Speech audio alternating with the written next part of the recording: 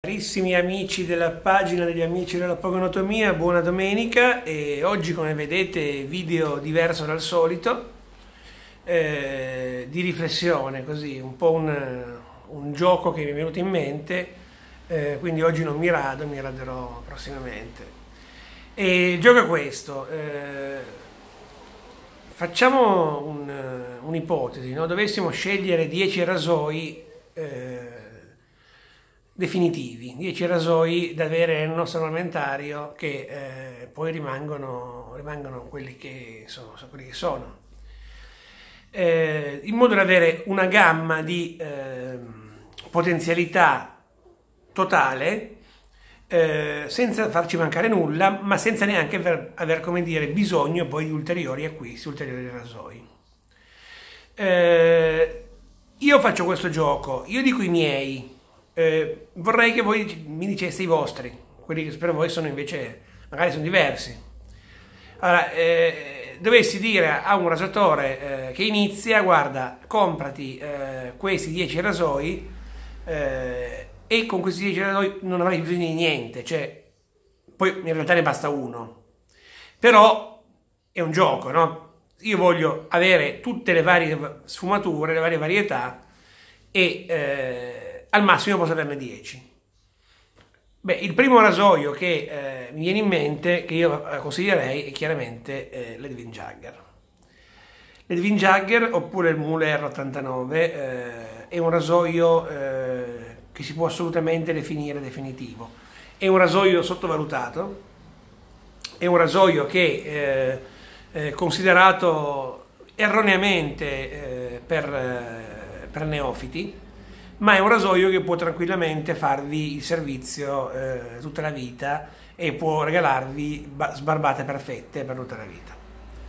È un rasoio non particolarmente aggressivo ma nemmeno eh, inefficace, eh, robusto, eh, non troppo leggero e dal prezzo veramente basso, quindi questa è la base secondo me, cioè, questo non si può non avere. Eh, Molti diranno, ma il Wilkinson Classic? Sì, ma io credo che eh, io consiglio sempre di iniziare con questo e di finire anche con questo magari. Eh? Quindi eh, Elvin Jagger assolutamente il primo, diciamo così. Eh, il secondo rasoio secondo me eh, da avere eh, è uno slant bar.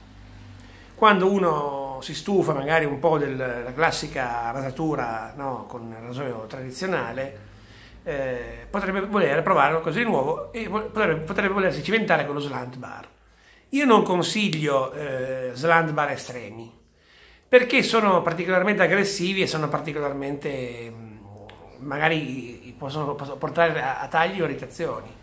Io consiglio un grande classico, il Mercur 37C.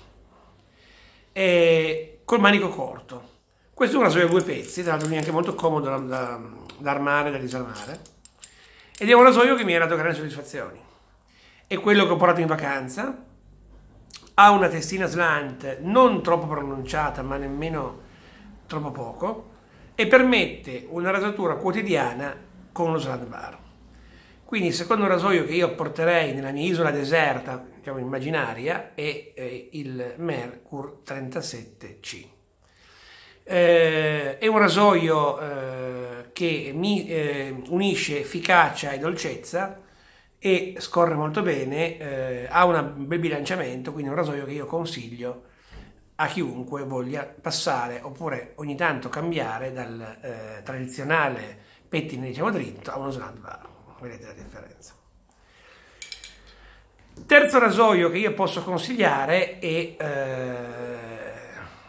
per chi vuole poi cimentarsi in qualcosa di più eh, tecnicamente eh, complicato. No? Cioè io ho imparato bene a usare il Jagger, eh, mi sono cimentato nel, eh, nello Sland Bar, voglio andare un po' oltre, no? voglio andare un po' oltre, voglio imparare anche a gestire rasoi più efficaci e più diciamo, aggressivi. E allora, come non avere, questo è poi è ottenuto un classico, il eh, famoso eh, R41. In questo caso è eh, l'R107, se non erro, eh, la versione con manico bianco che eh, tra l'altro in, è fuori produzione. Eh, questo è un finto pettine, ehm, pettine aperto, perché in realtà come vedete è un pettine chiuso. Vedete che c'è una barra di sicurezza. Però è un rasoio che consente un'esposizione della lametta incredibile.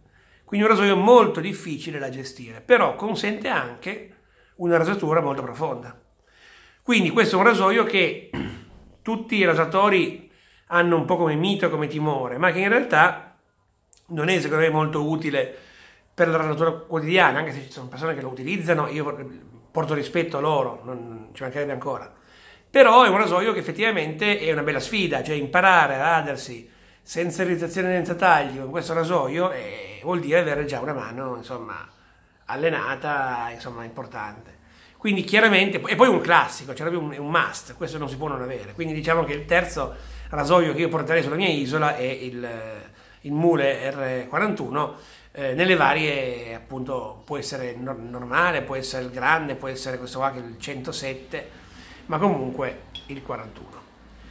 Eh, poi sicuramente eh, porterei un, un pettine aperto, eh, un pettine aperto io porterei eh, il Fatip. Eh, io non ho particolare, ehm, eh, come dire, timore dei pettini aperti, perché io ritengo che, come vi ho spiegato, ehm, la differenza la facciano eh, soprattutto l'esposizione della lama. Ehm, però il FATIP rappresenta veramente ancora un particolare eh, eh, rasoio eh, frutto italiana, eh, viene prodotto, almeno adesso non so se è aumentata la produzione, ma quando io ho parlato con il titolare della, della ditta, che lavora tra l'altro praticamente da solo, eh, in mi pare 12.000 eh, pezzi all'anno, e viene prodotto originalmente eh, è un rasoio unico nel suo genere, praticamente eh, è uno dei pochissimi che ha il suo manico non intercambiabile con, con altre marche. Eh, tanto per intenderci, noi possiamo scambiare il manico di un mule con il manico di un Jagger, piuttosto che con questo no, cioè questo qua era più lui. Eh, ha una forma particolare, è un rasoio particolarmente incisivo, eh, italiano, eh, le rifiniture non sono forse a livello dei migliori, ma il rasoio li vale tutti, insomma, il prezzo è assolutamente basso e quindi eh, siccome nei miei diciamo 10 top 10 una pettina aperta sicuramente ci, ci va, eh, ecco che allora eh, io scelgo il Fatip eh, classico, Fatip grande, insomma, comunque il Fatip, anche il Fatip piccolo volendo, eh, però comunque la testa è sempre la stessa, quella aperta, pettina aperta. Poi chi vuole c'è anche il Fatip gentile che è la stessa testa, semplicemente hanno messo una, una barra. Poi, eh, e siamo già a 4, quindi abbiamo detto eh, Edin Jagger, abbiamo detto eh, il Mule eh, R41, abbiamo detto eh, il eh, Mercur 3STG e abbiamo detto il Fatip eh, Open Com, diciamo così, questa aperta. Poi eh, arriviamo al quinto, il quinto io direi un regolabile un regolabile perché comunque è un eh, rasoio che consente eh, una grande gestibilità e eh, consente di eh, regolare appunto il, la potenza di taglia secondo le nostre esigenze. Beh, io credo che in questo momento, per quelli che sono i miei gusti, poi ripeto, ognuno, eh, quello che porterei nella mia, nella mia, isoletta deserta è sicuramente il Mercur Progress 500, manico corto. Eh, progetto assolutamente ehm, collaudato, consente una regolazione anche estrema eh, in, in, apertura, guardate. Eh, alla massima apertura è più aggressivo addirittura di qualsiasi altro rasoio probabilmente, tutto chiuso e eh, invece un rasoio molto gestibile. È un bell'oggetto, eh, alcuni lo criticano per questo eh, nottolino in polimeri, ma eh, secondo me ci sta, cioè non, non ne rovina la, la qualità. Eh, il peso è adeguato, eh, insomma è un rasoio che io ho utilizzato molto, eh, tra l'altro molto ben fatto, molto ben rifinito secondo me, sono i miei gusti, prezzo accettabile, insomma, eh, quindi un regolabile, ecco che abbiamo eh, la possibilità di portare il nostro eh, Mercur Progress 500. E siamo già a 5 rasoi. Adesso andiamo, diciamo, nel, nel sesto. L'altra tipologia, no? Abbiamo ancora due tipologie fondamentalmente da portare. Il sesto è un rasoio che abbia due teste, cioè una testa doc, eh, con doppia valenza. Da una parte pettine aperto, dall'altra parte pettine chiuso. E io a questo punto scelgo l'Icon, l'Icon eh, 101, che ehm, come vedete ha, eh, abbiamo già provato in rasatura, eh, due tipi di eh, impostazione. Questo va benissimo, ad esempio, se noi abbiamo una, eh, l'esigenza di raderci settimanalmente, per dire, no? Perché cosa facciamo? Noi possiamo usare il pettine aperto per disciplinare il pelo in fase di pelo. Quindi pelo lungo si disciplina. Poi per fare il pelo obliquo e il contropelo, pettine chiuso. Questa è una soluzione che eh, ultimamente sta venendo fuori, molte marche producono rasoi del genere, credo che questo rappresenti forse la soluzione, la soluzione eh, qua con manico tackway, manico piccolo, la soluzione eh, migliore secondo me, almeno quella che io preferisco. E siamo già a 6 rasoi. Settima tipologia che non può mancare, un single edge. Lama singola, lama lunga, lama diversa. E tra tutti io scelgo il Razor Rock eh, Black Oak. Eh, questo è un rasoio eccezionale. Questo è un rasoio eccezionale, guardate com'è, com'è lungo, come quanto prende il, la lama. Armato con delle lamette, magari con delle caie, adesso qui è un po' sporco di sapone, devo, devo lavarlo. Questo è un rasoio veramente delicato, cioè non, non ci si taglia, è impressionante. Questo è l'Edwin Jagger, diciamo, dei, dei single edge e eh, consente di montare queste. Tra l'altro, rasoio dal prezzo limitatissimo, eh, leggerissimo, consente di, di montare eh, lame eh, chirurgiche e di gestirle. Cioè, eh, anche il rasatore meno esperto, io trovo che con questo eh, non rischi disastri. Infatti, io l'ho usato molto. Il problema di questi rasoi è che le lame sono molto care a differenza delle lame normali. Però io lo uso molto, devo dire che eh, Black Hawk, questo qua, è un rasoio eccezionale e io lo porterei, quindi sarebbe il settimo rasoio che io porto sull'isola deserta. Ecco, per dire. Poi passiamo, diciamo, agli ultimi tre. E gli ultimi tre siamo un po' sul, sul di più, sul... Noi abbiamo esaurito tutte le tipologie, no? Praticamente, circa. L'ottavo per me sarebbe il Pils. Il Pils perché ehm, il Pils è un rasoio, tanto vabbè è caro, cioè di un rasoio di 200 euro. Particolare proprio per il suo modo di essere costruito, preso dal piede nell'acciaio, acciaio inox. E particolare perché questo ci eh, porta a una tecnica di rasatura diversa, no? Cioè noi ci radiamo giocando molto veramente sul peso della testa. Mentre gli altri rasoi sono bilanciati diversamente, questo qua è bilanciato sulla testa, un martello praticamente, no? E quindi eh, porta il rasatore a una nuova esperienza di rasatura. Eh, l'aggressività è eh, media, non, troppo, non, troppo, non, alta sicuramente, ma non così bassa, e eh, rappresenta ancora una, anche questa una piccola sfida, cioè non, non è così facile radersi col Pills. Eh, in realtà è un è un rasoio che necessita di una tecnica diversa, quindi lo porterei perché è un qualcosa di diverso, quando voglio ricambiare, insomma, siamo già a 8. Mancano due. Beh, io ehm, sono molto, era molto, come dire, combattuto per questi ultimi due. Ho pensato, ho detto, ma uno sicuramente, anche, anche qua per cambiare un po', potrebbe essere il Rocknell. Eh, eh, single edge.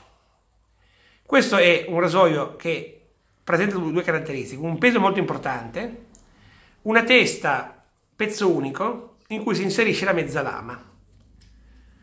Anche questo è un rasoio molto molto efficace, ma necessita di una tecnica molto importante, quindi bisogna essere capaci di usare questo qua. È molto bello tra l'altro esteticamente, un bellissimo acciaio, particolare la, la, la, eh, il meccanismo, cioè il a incastro.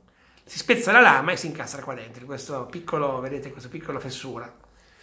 E, e quindi è un rasoio particolare, quindi ecco perché il nono, perché è sicuramente un di più, però ogni tanto può essere divertente, io infatti ogni tanto lo faccio, utilizzarlo per, eh, perché comunque è una rasoio molto, molto, molto esposta, la lama è molto esposta, e quindi ehm, è assolutamente eh, un, ehm, uno strumento che potrebbe essere inserito in questi dieci, no? come nono.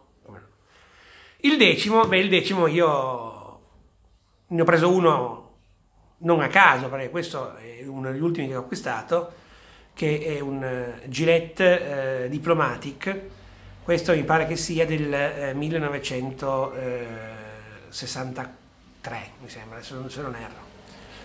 Eh, questo è un, è un, rasoio che eh, ha la classica testina della Gillette TTO a farfalla, questo è un vintage chiaramente, dorato, e ehm, è un rasoio che ha rappresentato, ecco perché lo porterei, un classico nella storia della rasatura mondiale. Non tanto questo modello in particolare, ma proprio questo meccanismo, questa testina. Ora, io eh, recentemente ho avuto un parente ricoverato in, eh, in una clinica e eh, ho conosciuto un signore anziano che utilizzava ancora un Gillette degli anni 60 e io ho chiesto, perché ovviamente eh, era affascinante no? vedere questo signore molto anziano eh, radersi, avere vicino al, al comodino il rasoio di sicurezza, un Gillette, mi pare che fosse un, un Rocket, credo. E, e, gli chiesi ma eh, di che anno è? Lui fa ma io non l'ho mai cambiato, eh, me lo regalarono quando avevo 40 eh, anni, eh, adesso il signore eh, ne ha praticamente 90 e ancora oggi lui si rade con questo tipo di, di testa, che quindi è un rasoio definitivo, eh, questo. Poi chiaramente è un vintage, quindi eh, cromato oro, quindi non va usato. Però per la rasatura, diciamo, eh, un vintage, ecco, allora io sceglierei un Gillette. Questo è uno, ma ce ne sono tanti, c'è Fat Boy, Slim Boy, il President, chi ce l'ha, il, il, l'aristocrat, il, insomma ce ne sono tantissimi, però sceglierei uno di questi rasoi. Va bene, è un gioco, eh, io chiedo a voi quali rasoi portereste, facciamo 10, 10 possibilità su un'isola deserta. E niente, eh, buona domenica a tutti, e un saluto e se potete fare un po' di pubblicità alla pagina in modo da avere più like, così siamo tutti più contenti. Buona domenica!